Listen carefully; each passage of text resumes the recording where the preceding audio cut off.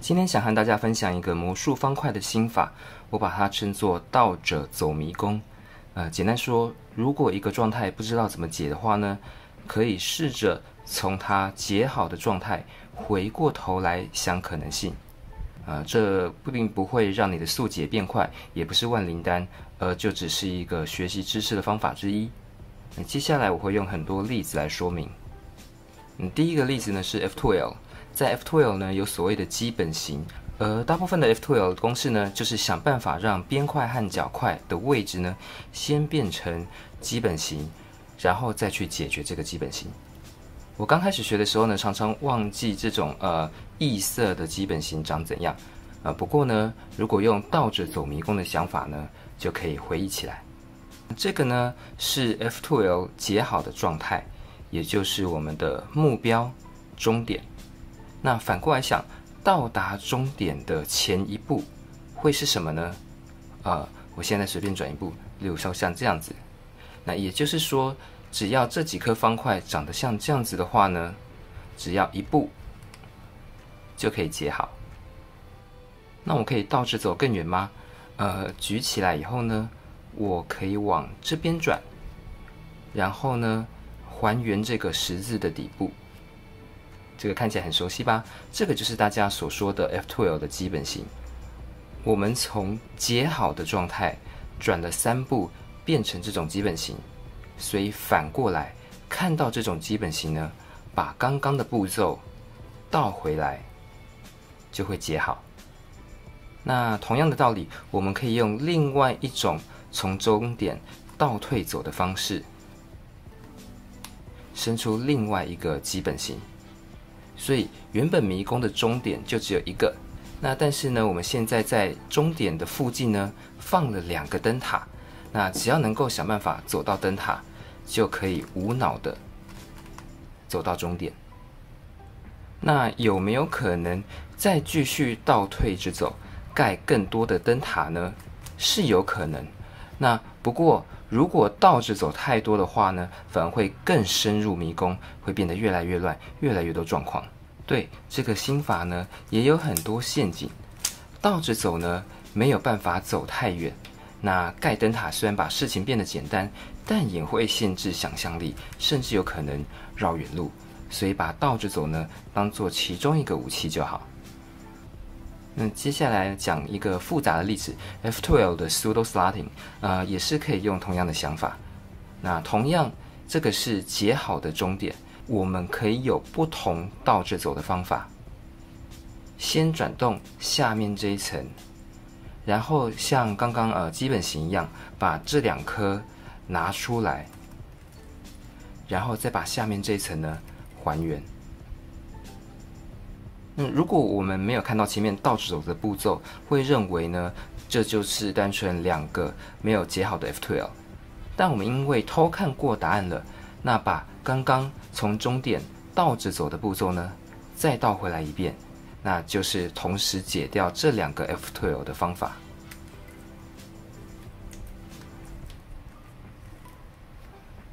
那我们再重新看一次倒着走的步骤，转了底层以后呢，接下来这这三步像是在弄一个 F2L 的基本型倒过来。那这边看起来呢，已经有一个 F2L 的槽了。那只是因为我们预先转了底层，所以这时候呢，我们再把它还原回去。那刚刚这个槽呢，就一分为二，它变成它是假的，所以叫 pseudo。啊，我们学习到这样子的知识以后呢，重新再看这个状况。那这个槽的边块解好了，那然后这个槽的呃角块解好了，这两个还没有解好，那它们有机会可以合成一个槽，让没有解好的角块跟边块凑成一对，放进去以后呢，把它解完。那当然事情没有那么简单，呃。像这样子，这个 pseudo slot 的槽呢，呃，边块的这一面要是红色，然后角块的这一面呢要是蓝色，那所以这个呢直接插入这样是对的。那但是这个状况呢，直接这样插入呢是错的。嗯，我不是速级辨认 slow slotting 的专家，所以呃没有办法给有用的建议。那或许辨认的方法包括看边块的 EO，再加上角块的白底的方向，呃，或者是如果今天这个底层只平移一格的话呢，那我们就把角块的色系对调。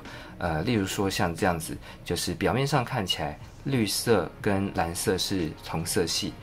那但是因为这个槽其实是在旁边，所以这两个色系我们要把它呃把它调倒反过来看，那把它想成是异色性。所以这边是异色性的话呢，我们就要把它分开来分裂。然后因为这个 E O 不对，所以我知道我必须要旋转方块，然后再把它解掉。对于呃在速写时辨认 pseudo slotting 有心得的人呢，呃请帮我在下面那个留言补充。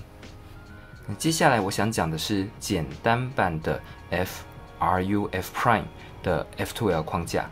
那原版呢是由 Jaden McNeil 所发想，他是澳洲 NRD 二对魔术方块研究很透彻的玩家。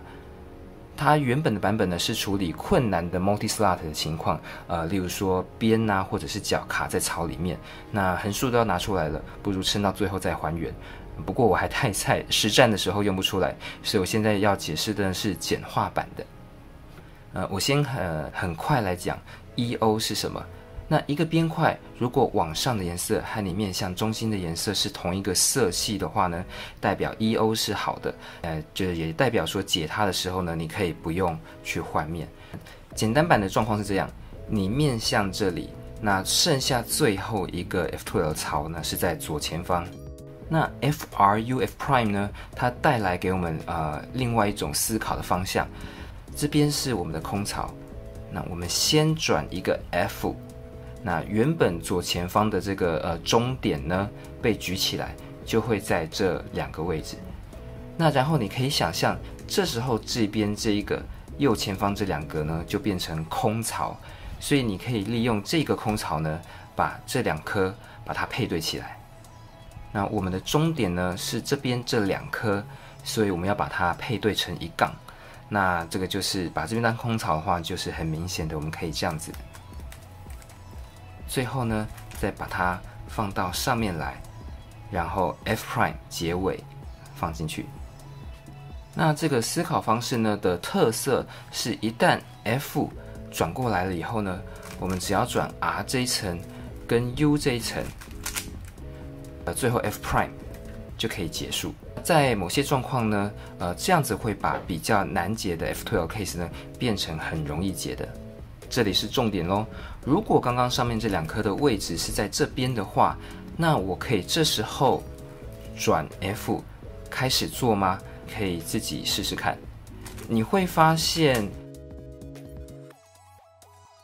嗯，就是没有办法只靠 RU 来去解。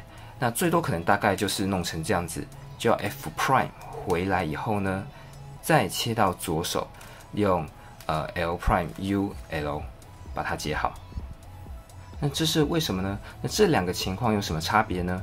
那我们这时候就要从终点倒着想。那整个公式的最后一步是 F prime，所以也就是说前一步呢，它会长得像这样子，然后 F prime 把它解好。那在终点的前一步呢？这个边块上面是红色的，和这边中心的这个绿色是不同的色系，所以说终点的前一步这个 E.O 是坏的。然后我们知道，在直转 R 层跟 U 层的话呢，是不会影响边块的 E.O，所以在公式的一开始转了 F 以后呢，边块的 E.O 也要是坏的，才能够持续的坏下去。那回来看最初的状况。那这两面它们的颜色是一样的，所以 E.O 是好的。这样子的话呢，第一步的 F 要转到它，就可以把这个边块的 E.O 让它变坏，然后才可以用 F R U prime。那否则如果是从这样子来开始转 F 的话呢，那这个边块这个上面的颜色呢，永远都是绿色，没有办法只用 R 跟 U。把它变成红色，所以就没有办法走到这个呃终点的这个前一步。那相同的道理，这样子的情况，因为这个边块的 EO 已经是坏的，这两个颜色是不同的色系，所以不能从这个位置转 F。那这时候我其实就有三个选择，我也可以从这里开始转 F。那这边这个还是红色的，也也可以从这里，也可以从这里。那经过各种实验呢，就会发现说，在这个位置的时候呢，转 F。会让情况变得最单纯。那关于倒着走迷宫还有很多例子，我快快的带过去。像是高阶方块的中心，如果第一个中心就觉得困难的话呢，这边是一个想法。所以这个就是我们的终点。终点怎么样子倒退走最简单呢？那例如说就是这样子。也意思就是，如果你能够组成一条一条一条的话呢，就可以把它。放上去，组成一个中心。那但是问题是，这一条这五颗要怎么粘起来呢？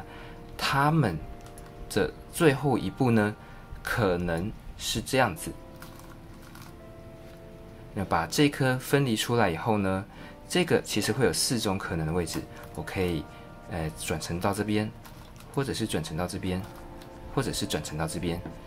也意思就是说，如果你已经啊，就是要把这五颗粘起来成一条，那你已经有一些都是在同样一排上呢，那剩下的就是把没有结好的转到同样那一排。例如说，这个是第一排，我就把这一颗转到这边第一排以后呢，就把它和排好队的其他颗粘起来，这样子就可以。然后是呃，block building。想要弄出这种二乘二乘三的 block，它的最后一步呢，有可能是这样子。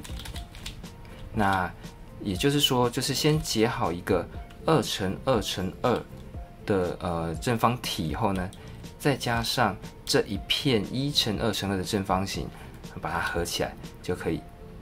那最后一步呢，也有可能是这个，也呃，例如说像这样子，也就是解好一个一乘二乘三，然后把这条线结好以后呢，合起来就可以。那然而用倒退走的方式，呃，放了灯塔以后呢，会有呃限制想象力的风险。呃，刚刚说二乘二乘三的最后一步的灯塔，一定只有画面上这两种状况。那但是这样子结 F2L 呢？嗯，其实对回最后一步的话，的确是。这样子的一个状态，也就是一乘二乘三配上解一条线。那但是其实心态上呢，在这种时候，我们不会把它想成就是解一乘二乘三。也就是说，灯塔是死的，那但是怎么走到灯塔的路呢，则是活的。那 Square One 的 Q Shape，呃，则是倒退走的极致。或者说呢，这根本不是倒退走，而是把那个迷宫呢给破解了。那因为 cube shape 的可能性可以穷举，然后从一个 cube shape 到另外一个 cube shape 的可能性呢也会有限，所以有人就做出了 cube shape 的流程图，把任何 cube shape 变成正方形的最短路径给列出来。以上就是倒着走迷宫的心法，呃，可能没有直接的帮助，不过这也是一种学技术的方法。那会想做这个影片呢，是因为最近在学 Domino Reduction，那它是一个 FMC 的技巧，别人的教学影片也谈到了这个思路，所以跟大家分享一下。呃，不过影片已经很长了，而且呃 DR 我还很不熟，那以后再拍影片讲相关的事情哦。